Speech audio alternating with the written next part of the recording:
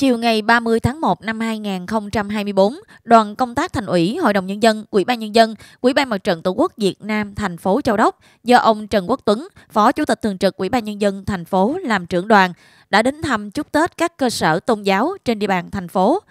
Dịp này đoàn đã đến thăm và chúc Tết chùa Phú Thạnh, chùa Long Sơn, Ban trị sự Phật giáo Hòa Hảo, phường Châu Phú B, Ban trị sự Phật giáo Hòa Hảo, phường Vĩnh Mỹ và giáo sứ Châu Đốc.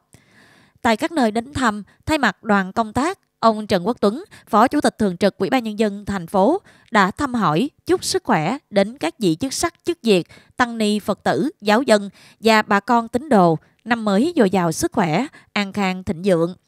đồng thời ghi nhận những đóng góp của các cơ sở tôn giáo trong hoạt động an sinh xã hội trên địa bàn thành phố trong thời gian qua. Qua đó mong rằng các cơ sở tôn giáo tiếp tục phát huy đoàn kết, vận động Phật tử tín đồ, giáo dân thực hiện nếp sống văn minh đô thị, đồng hành với chính quyền địa phương trong các phong trào, góp phần xây dựng thành phố Châu Đốc ngày càng phát triển.